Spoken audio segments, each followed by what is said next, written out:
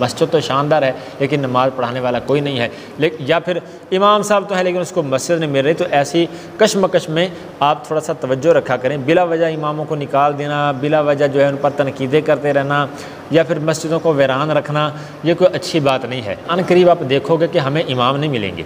यानी हमें, हमारी मस्जिदें तो होंगी, लेकिन उसमें रखने के लिए इमाम नहीं होंगे।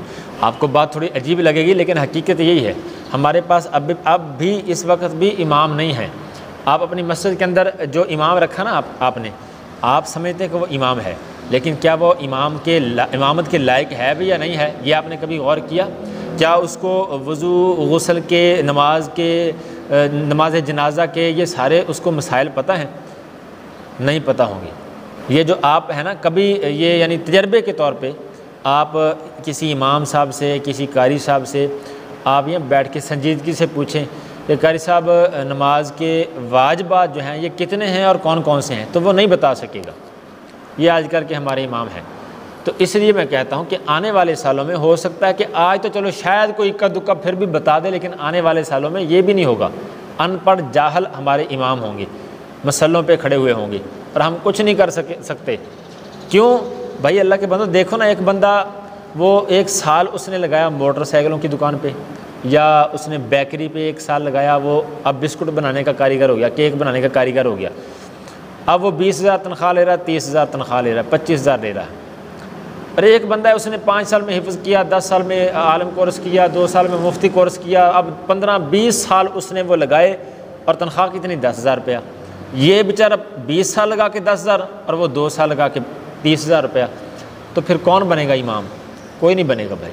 और अब भी अगर कोई बनते हैं तो वो मुकर बनता है, इमाम तो वो बेचारा बनता है, जिसको कुछ आता नहीं है, जिसकी कुछ चलती नहीं है। अगर कोई थोड़ा सा उसको तकरीर आ गई, कोई थोड़ा सा अच्छा बोल लेता है तो फिर वो इमामत की परवाह कम करता है। अब देखें ना, एक बंदा इमाम है, यानी इमामत करवाता है, उसको यानी तकरीर पर महारत हासिल नहीं है उसको, लेकिन इमाम है वो, उसको मसाइल सारे आते हैं, कुरान पाक अच्छा पढ़ता है, इमामत करवाता है। अब वो पूरा एक महीना नमाजें भी पढ़ाए, मस्जिद की सफ़ाई भी करे, सुबह शाम बच्चों को कुरान पाक की तालीम भी दे, आपके घरों में बच्चों के कानों में अजान भी दे, आपको दम फूके भी करे अजानों का भी ख्याल रखे, सफ़ाई का भी ख्याल रखे, आपकी हाँ में हाँ भी मिलाए, इंतज़ामिया को भी जी जी करके बुलाए और मस्जिद टाइम से खोलनी, बंद करनी, छुट्टी भी कोई नहीं करनी। और फिर बच्चों को मारना भी नहीं है, इनको जल्दी से जल्दी पढ़ाना भी है। और ये सारा कुछ उस पर ज़िम्मेदारियाँ और तनख्वाह कितनी? दस हज़ार रुपया। ठीक है? और लोगों की तनकीदें भी साथ में सुननी है। अगर आपको कोई अटैक करता है, कोई बुरा भला कहता है, गालियाँ भी दे, आपने कुछ नहीं कहना, आपने जी जी जी जी जी जी, क्योंकि आप इमाम साहब हैं। आपने बस यही करना है। आगे से आप कुछ नहीं कह सकते। अगर करेंगे तो आपकी छुट्टी हो जाएगी। आप इमाम साहब जो हैं, आप कम ही हैं, इमाम नहीं हैं। तो अब ये इतना सारा कुछ करके दस हज़ार रुपया महीने का। और एक बंदा है, उसने ना जनाजा पढ़ाना, ना नमाज़ पढ़ानी, ना मस्जिद की कुछ भी नहीं है। वो एक घंटा तकरीर करता है, बीस हज़ार रुपया ले आता है।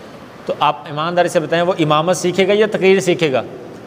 जिसमें उसको महीना नमाज़ें पढ़ा पढ़ा के इतना कुछ करके दस हज़ार रुपया मिलना है और तकरीर एक घंटे की बीस हज़ार रुपया मिल जाना है, वो तकरीर सीखेगा ना फिर? एक नात का, इधर ये पूरा कुरान आपको पढ़ के सुना दे, पंद्रह सौ रुपया। उधर वो एक नात पढ़ दे, दो हज़ार रुपया। तो ये कुरान सीखेगा या नात सीखेगा? भाई, तकरीर सीखेगा, नात सीखेगा, कलाम सीखेगा, शेर व शायरी सीखेगा नमाज़ नहीं सीखेगा? आप जितने भी ये शेर व शायरी वाले सारे जितने भी हैं ना, मेरा, मैं आपको गारंटी देता नब्बे फ़ीसद आप इनसे सुन लें, आप इनको नमाज़ के मसाइल का पता नहीं होगा। नमाज़ की शरात क्या है, वाजबात क्या हैं फ़राइद क्या हैं सुनतें कौन सी हैं नमाज़ तोड़ने वाली चीज़ें कौन कौन सी हैं मकरू तंजीही क्या है मकरू तहरीमी क्या है, ये कुछ नहीं इनको पता होगा। जब पता नहीं है नमाज़ इनकी सही, फिर आपकी कैसे सही होगी भाई? तो ये आप जो है ना ये अभी से ही फ़िक्र कर लें, अभी से हमारे हमारे पास इमाम नहीं है ये। इमाम यार वो होता है जिसमें खौफ खुदा हो, तकवा हो, दीनदारी हो, कुरान उसको सही आता हो। यानी उसमें कोई इमाम वाली कोई शरात भी उसमें हो ना।